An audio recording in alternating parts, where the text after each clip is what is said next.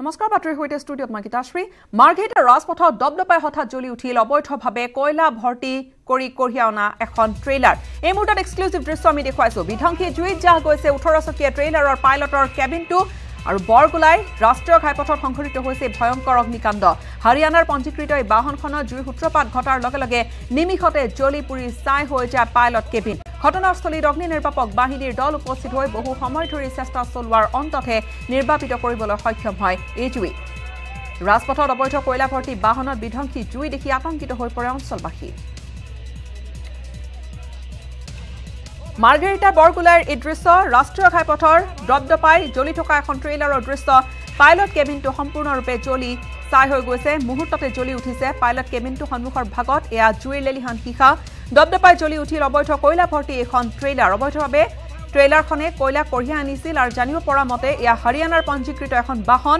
হাৰিয়ানাৰ পঞ্জীকৃত বাহনখনৰ জুই সূত্ৰপাত ঘটাৰ লগে লগে নিমিষতে জ্বলি ছাই হৈ যায় চালকৰ কেবিনটো। ঘটনাস্থলীত অগ্নি নিৰ্বাপক বাহিনীৰ দল ততাতৈয়াকৈ উপস্থিত হয়। বহু সময় ধৰি চেষ্টা চলোৱাৰ অন্ততহে জুই নিৰ্বাপন কৰিবলৈ সক্ষম হয়।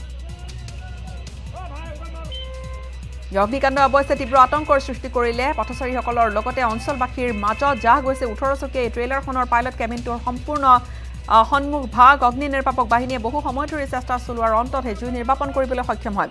আটাইতকৈ ডাঙৰ কথা যে অবৈধ কয়লা ভৰ্তি এইখন ট্ৰেইলাৰ আছিল। অবৈধভাৱে কয়লা কঢ়িয়াই আনিছিল কোনো চালান নাছিল। সেই বিষয়টোও এতিয়া প্ৰতিক্ৰিয়াৰ সৃষ্টি কৰিছে। ধোঁৱা নিশ্চয়কৈ পৰিলক্ষিত হৈছে।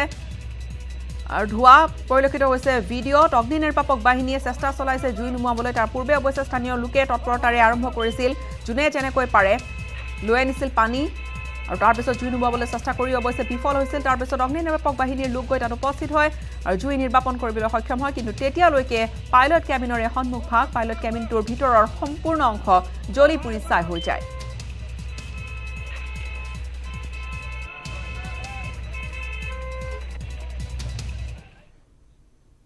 পৰৱৰ্তী খবৰ পঞ্চায়ত নিৰ্বাচন ঘোষণা কৰাৰ পিছত এতিয়া টিকট ঘোষণাৰ লগে লগে বিজেপিত তীব্ৰ বিসম্বাদে দেখা দিছে। পঞ্চায়তৰ টিকটক কেন্দ্ৰ কৰি অসম হাউচিং বৰ্ডৰ উপাধ্যক্ষ তথা বিজেপিৰ ৰাজ্যিক মুখপাত্ৰ সুভাষ দত্তৰ ঘৰত অসন্তুষ্ট পঞ্চায়ত কৰ্মীয়ে কৰিলে ভিৰ। সুভাষ দত্তৰ প্ৰত্যক্ষ তৎপৰতাত মৰাণ সমষ্টিৰ পঞ্চায়তসমূহৰ টিকট প্ৰদান কৰা হৈছে এনে অভিযোগ উত্থাপন হৈছে আৰু মৰাণৰ গৰুধৰীয়াত বিধায়ক চক্ৰ গগৈৰ ঘনিষ্ঠ দুগৰাকী প্ৰাৰ্থীক টিকট দিয়া কেন্দ্ৰ কৰি ক্ষোভিত হৈ পৰিছে। একাংশ নিৰ্বাচন প্ৰত্যাশী দলীয় কৰ্মী। প্ৰাৰ্থী নিৰ্বাচনত মৰাণ সমষ্টিৰ বিধায়ক চক্ৰধৰ গগৈয়ে নয়মতালি প্ৰদৰ্শন কৰি দলৰ জ্যেষ্ঠ কৰ্মীক বঞ্চিত কৰাৰ গভীৰ অভিযোগ উত্থাপন কৰিছে। খোৱাং পঞ্চায়তৰ পাঁচখনকৈ বুথ কমিটিয়ে অভিযোগৰ সৈতে লগতে কেইবাজনো দলীয় বিষয়ববীয়াই তেওঁলোকে ক্ষুব্ধ হৈ পৰিছে। পঞ্চায়ত নিৰ্বাচনৰ টিকট নাপাই এতিয়া বিজেপিৰ ৰাজ্যিক মুখপাত্ৰ সুভাষ দত্তৰ গৃহ ঘেৰাও কৰি তীব্ৰ ক্ষোভ উজাৰিলে। টিকট প্ৰত্যাশীসকলে।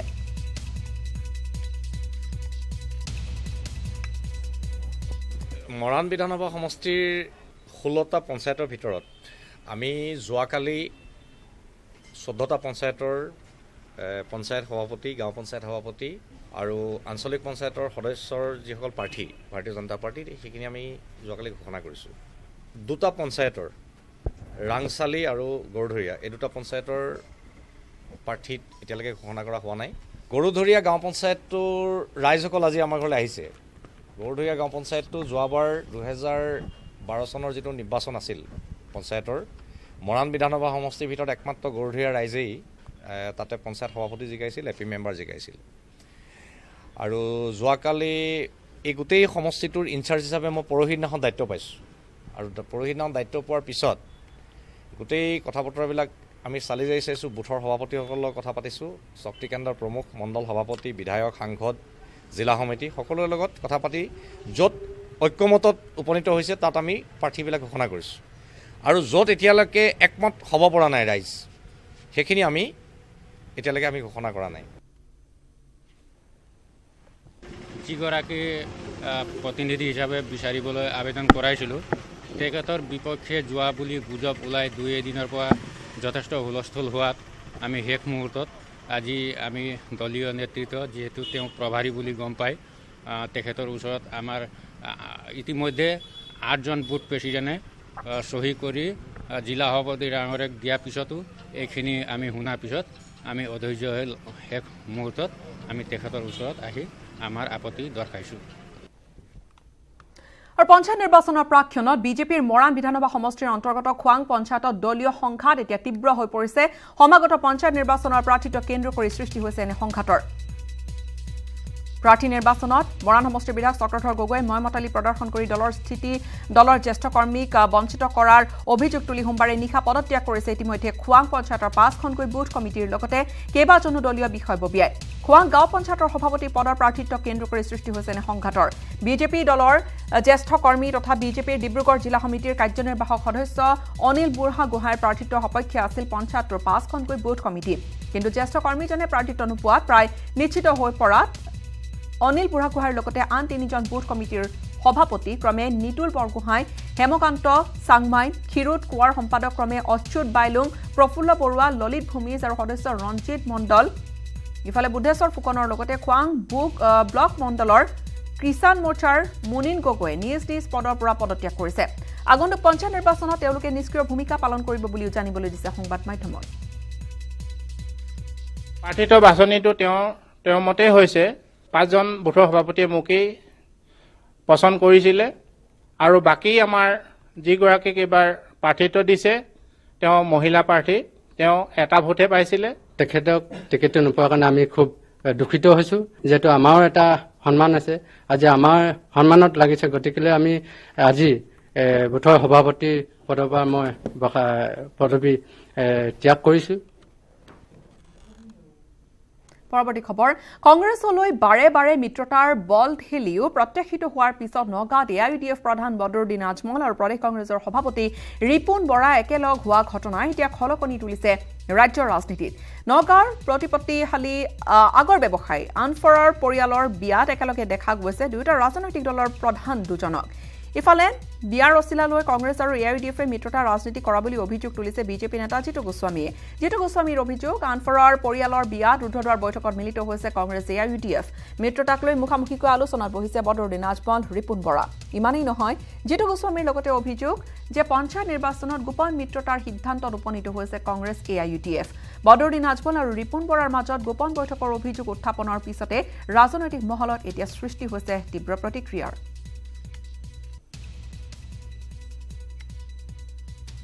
এতিয়াৰ পৰিৱেশত এতিয়া আমাৰ পঞ্চায়ত নিৰ্বাচন সমাগত আৰু বিশেষভাৱে আৰু বিশেষ ৰাজনৈতিক দল এজন দল এটাৰ তেখেতসকলৰ সভাপতি বিৰোধী দলপতি আৰু তেওঁলোকৰ গোটেই জ্যেষ্ঠ নেতাসকল একেলগ হৈ আৰু একেলগত একেটা সময়তে বিবাহ খাবলৈ আহি বিবাহত এ ৱাই ডি এফৰ মুৰব্বী বদৰুদ্দিন আজমল ডাঙৰীয়াও আছিলে আৰু আমাৰ হাতত যি তথ্য আছে সেই তথ্য মতেতো তেওঁলোকে বিবাহ বিবাহত লগ পোৱাই নহয়।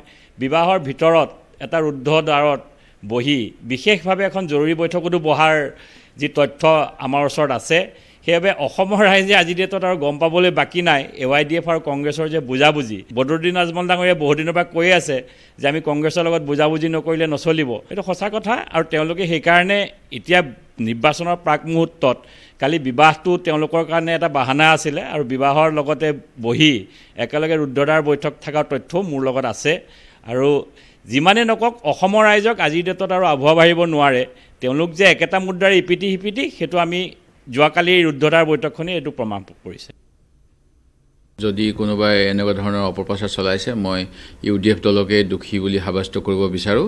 কাৰণ আমি যিটো অনুষ্ঠানত গৈছিলোঁ জামিয়ত উলেমাই হিন্দৰ অসম শাখাৰ এজন সভাপতি মুস্তাফা আনফৰ তেখেতসকলৰ ঘৰুৱা এখন এটা শুভ কাম আছিলে। তেওঁৰ লোকৰ দুজন পুত্ৰৰ বিবাহৰ অভ্যৰ্থনা আছিলে আৰু এই অভ্যৰ্থনালৈ আমন্ত্ৰণ ক্ৰমে আমি গৈছিলোঁ।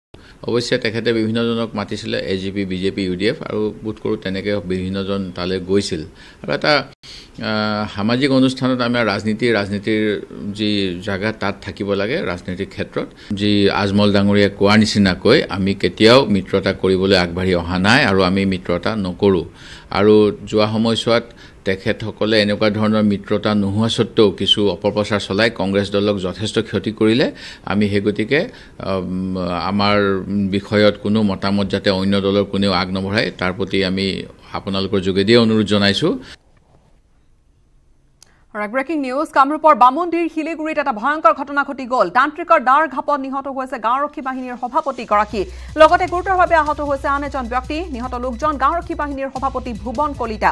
আহত নৱজ্যোতি কলিতাক জি এম চি এইচত ইতিমধ্যে ভৰ্তি কৰোৱা হৈছে। অঞ্চলজুৰি এতিয়া ব্যাপক চাঞ্চল্য। জগদীশ ডেকা নামৰ তান্ত্ৰিকজনে হত্যা কৰাৰ গুৰুতৰ অভিযোগ উত্থাপন কৰিছে পৰিয়ালৰ লোকে। দীৰ্ঘদিনৰে পৰা নলবাৰীৰ তান্ত্ৰিকজনে অঞ্চলটোত ভণ্ডামি চলাই অহাৰো অভিযোগ উত্থাপন কৰিছে স্থানীয় লোকে। নিশা জগদীশ ডেকাৰ আশ্ৰমত চলিছিল সুৰাৰ পাৰ্টি। অসামাজিক কাৰ্যকলাপত বাধা দিয়াৰ বাবে দুয়োকে আক্ৰমণৰ ঘটনা সংঘটিত হৈছিল। ঘটনাস্থলীত শুৱালকুছি আৰক্ষী ইতিমধ্যে উপস্থিত হৈ তদন্ত আৰম্ভ কৰিছে। কিন্তু এই ঘটনাৰ পিছতে এতিয়া যথেষ্ট চাঞ্চল্যই বিৰাজ কৰিছে। সমগ্ৰ বামুণ্ডী তিনিজন ল'ৰা আহিছিলে ইয়াতে। খানা চানা খাইছে অলপ গালি ধৰা পাৰি আছিলে। আমাৰ তলৰ বাৰু দুজনে হাত মানা কৰিব আহিলে। সিহঁত দুজনক বাপুৱে আৰু লগত থকা দুজনে মাৰিলে। মাৰিছে আৰু বাকী দুজন মেডিকেল নিয়া হৈছে। তাৰে এজন ৰাতিপুৱা ঢুকালে আৰু এজন বৰ্তমান আহত হৈ আছে। লাঠি দি মাৰিছে দুডাল লাঠি পাইছো। লাঠি দুডালত তেজ লাগি আছে। আৰু ইফালে ভয়ংকৰ অঘটনৰ পৰা কথমপি ৰক্ষা পৰিল ডিব্ৰুগড় চহৰ। গেছ পাইপৰ পৰা জুইৰ সূত্ৰপাত ঘটাত কিছু সময়ৰ বাবে মিলন নগৰত সৃষ্টি হয় এক হোৱা দোৱা লগা পৰিৱেশৰ। আতংকময় পৰিৱেশৰ সৃষ্টি হ'ল মুহূৰ্ততে। অগ্নি নিৰ্বাপক বাহিনীৰ তৎপৰতাত বিধ্বংসী জুই অৱশেষত নিৰ্বাপিত হয়। জুইৰ সূত্ৰপাত হোৱা অঞ্চলটোত কিছু দূৰত এটা পেট্ৰল ডিপো আছিল আৰু লগতে কেইবাটাও আৱাসিক ঘৰো আছিল। অগ্নি নিৰ্বাপক বাহিনীৰ তৎপৰতাৰ বাবে মিলন নগৰত এটা ভয়ংকৰ অঘটন ঘটি যোৱাৰ পৰা কথমপি অঞ্চলটো ৰক্ষা পৰিছে। অগ্নিকাণ্ডৰ ফলত আতংকময় পৰিৱেশে বিৰাজ কৰিছিল সমগ্ৰ অঞ্চলজুৰি এটা বিধ্বংসী অগ্নিকাণ্ড সমীপতে আছে এটা পেট্ৰল ডিপো আৰু এই জুই পাইপত লাগিছিল। মুহূৰ্ততে আতংকময় পৰিৱেশে আগুৰি ধৰিছিল সমগ্ৰ অঞ্চলটো আতংকিত হৈ পৰিছিল। ৰাইজ এই দৃশ্য দেখুৱাইছো ডিব্ৰুগড় চহৰ মিলন নগৰত বিশেষকৈ এই অগ্নিকাণ্ডৰ ফলতে আৱাসিক এলেকাৰ লোকসকলৰ মাজত মুহূৰ্ততে সৃষ্টি হৈছিল এক আতংকময় পৰিৱেশৰ। তাৰপিছত জুই ততাতৈয়াকৈ নিৰ্বাপন কৰা হয়। অতি তৎপৰতাৰে অগ্নিকাণ্ডৰ ফলত অৱশ্যে অঞ্চলজুৰি এতিয়াও তাত চেপা উত্তেজনাই বিৰাজ কৰি আছে। এইডাল যিডাল গেছৰ পাইপ আহিছে দুলীয়াজানৰ পৰা মিলন নগৰ হৈ টিভি চেণ্টাৰ হৈ এইফালেদি ডিব্ৰুগড় তাৰ চহৰত আজি গেছ যি বিতৰণ কৰা হয় তাৰে ইয়াৰ মিলন নগৰ অঞ্চলত কি কাৰণে লাগিছে এতিয়া ধৰিব পৰা নাই এতিয়া জুই নিয়ন্ত্ৰণ কৰা হৈছে। আৰু মই ভাবোঁ যে এইটো নিশ্চয় এইটো কৰাৰ পাছত ইয়াক সম্পূৰ্ণ ইয়াক নিয়ন্ত্ৰণত আহিছে আৰু কিছু সময়ৰ পাছতে সম্পূৰ্ণভাৱে নিয়ন্ত্ৰণ হ'ব। আৰু এইখিনি ব্যৱস্থা কাৰণ যিহেতু ডাঙৰ পাইপত এডাল জুই লাগিছে আন এক গুৰুত্বপূৰ্ণ খবৰ। পঞ্চায়ত নিৰ্বাচনৰ প্ৰাক্ষণত কংগ্ৰেছৰ দলীয় কৰ্মীৰ মাজত এতিয়া দেখা দিছে তীব্ৰ অসন্তুষ্টিয়ে পঞ্চায়তৰ প্ৰাৰ্থী নিৰ্বাচনক কেন্দ্ৰ কৰি বিশ্বনাথৰ ৰাজীৱ ভৱনত লাগিল লংকা কাণ্ড। ক্ষুব্ধ দলীয় কৰ্মীয়ে ভাঙি লণ্ডভণ্ড কৰিলে জিলা কংগ্ৰেছৰ সভাপতিৰ কাৰ্যালয়টো পঞ্চায়ত নিৰ্বাচনত কংগ্ৰেছৰ প্ৰাৰ্থী নিৰ্বাচনক কেন্দ্ৰ কৰি বৰ্তমান বিশ্বনাথত এতিয়াও তীব্ৰ উত্তেজনাই বিৰাজ কৰি আছে। যি দশা হৈছে বিজেপিৰ একে দশা যেন কংগ্ৰেছৰো। আৰু প্ৰাৰ্থিত্ব কেন্দ্ৰিক এনে সংঘাত পঞ্চায়ত নিৰ্বাচনৰ প্ৰাক মুহূৰ্তত কংগ্ৰেছৰ দলীয় কৰ্মীৰ মাজত তীব্ৰ অসন্তুষ্টি। ৰাজনৈতিক দলসমূহৰ মাজত প্ৰাৰ্থিত্ব কেন্দ্ৰিক উৰিয়া উৰি আৰম্ভ হৈছে। পঞ্চায়তৰ প্ৰাৰ্থী নিৰ্বাচনক কেন্দ্ৰ কৰি এয়া দেখুৱাইছো বিশ্বনাথৰ ৰাজীৱ ভৱনত লংকা কাণ্ড চকী মেচ সকলো চেডেলি ফেডেলি হৈ পৰি আছে। কাৰ্যালয়ৰ দৃশ্য ক্ষুব্ধ দলীয় কৰ্মীয়ে ভাঙি লণ্ডভণ্ড কৰিলে জিলা কংগ্ৰেছৰ সভাপতিৰ কাৰ্যালয়। পঞ্চায়ত নিৰ্বাচনত কংগ্ৰেছ প্ৰাৰ্থী নিৰ্বাচনক কেন্দ্ৰ কৰিয়ে বৰ্তমান বিশ্বনাথত বিৰাজ কৰিছে উত্তেজনাই।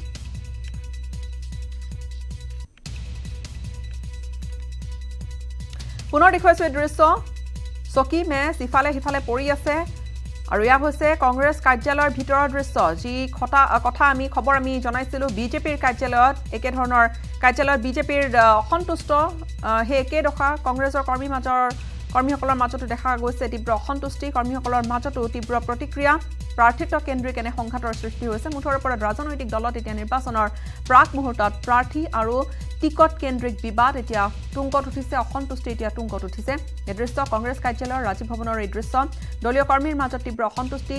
পঞ্চায়ত প্ৰাৰ্থী নিৰ্বাচনক কেন্দ্ৰ কৰি বিশ্বনাথৰ ৰাজীৱ ভৱনত লংকা কাণ্ড নিজ ইচ্ছামতে তেখেতসকলে নিৰ্বাচনী কমিটিত আলোচনা কৰিছে গোপনভাৱে আৰু প্ৰত্যেকটো ক্ষেত্ৰতে আমি আগৰ পৰাই জনাই আহিছোঁ যে সভাপতিজন আমাৰ কোনো ক্ষেত্ৰতে আমাক সহায় নকৰে আমি কোনো ক্ষেত্ৰতে আমি মানে মানি নলওঁ। যাৰ কাৰণে আজি আমি তেখেতসকলে যিটো নিৰ্বাচন কৰিব পঞ্চায়ত নিৰ্বাচনৰ প্ৰাৰ্থী লৈ এইটো লৈ পেলাই আমি তেখেতসকলক জানিব বিচাৰিছোঁ যে আমাক নিৰ্বাচনী কমিটিৰ লগত কোনো যোগাযোগ নৰখাৰ কাৰণে আমি যেতিয়া জানিব বিচাৰিছোঁ। তেখেতসকলে কিন্তু কোনো ধৰণৰ আমাক গুৰুত্ব প্ৰদান নকৰে। আমি আদিবাসী কেণ্ডিডেট এজন দিয়াটো প্ৰয়োজন। গতিকে মই সেইকাৰণে ৰীতা বাগৰাৰ নামটো প্ৰস্তাৱ কৰিছোঁ বুলি মই সদনত উত্থাপিত কৰিছিলোঁ। যেতিয়াই মই সেই প্ৰস্তাৱটো কৰিলোঁ তেওঁলোকৰ হয়তো মনপুত মনপুত ৰাজনৈতিকভাৱে তেওঁলোকৰ মনপুত কেণ্ডিডেট ৰীতা বাগৰা ডাঙৰীয়ানী নাছিলে। আমাৰ সভাপতিগৰাকীৰ লগত মতানৈক্য আছে। কিন্তু আমি কংগ্ৰেছ কৰি আছোঁ আৰু কংগ্ৰেছ কৰি যাম। সেই কথাটো মই আপোনালোকক পূৰ্বতে কৈছিলোঁ। আৰু সেই মতানৈক্য থকাৰ কাৰণেই মত মত বিনিময়ত আমাৰ মতানৈক্য থকাৰ কাৰণেই আজি তেওঁ আমাক এই সভাখন অজ্ঞাতে বেলেগ জেগাত অনুষ্ঠিত কৰিছে। আন এক ভয়ংকৰ খবৰ। আলফা স্বাধীনলৈ ঢাল খাইছে যুৱ প্ৰজন্ম। ধাৰাবাহিকভাৱে ইজনৰ পিছত সিজনে যোগদান কৰিছে আলফা স্বাধীনত। ডেৰগাঁও ওদালগুৰিৰ যুৱকৰ পিছত এইবাৰ আলফা স্বাধীনত যোগদান কৰিছে তিনিচুকীয়াৰ এগৰাকী ছাত্ৰীয়ে। আলফাত যোগদান কৰিছে তিনিচুকীয়াৰ দশম শ্ৰেণীত পঢ়ি থকা ছাত্ৰী Karishma Meche. D P G Jagun হাইস্কুলৰ ছাত্ৰী কৰিশ্মা এসপ্তাহ ধৰি সন্ধানহীন হৈ আছিল ছাত্ৰীগৰাকী। কৰিশ্মাৰ ঘৰ লেখাপানীৰ দুই নম্বৰ ফালেং গাঁৱত। ডেৰগাঁৱৰ পংকজ প্ৰতিম ওদালগুৰিৰ ধনজিৎ শশাংক আৰু জয়ন্তৰ পিছত এইবাৰ আলফা স্বাধীনত যোগদান কৰিছে।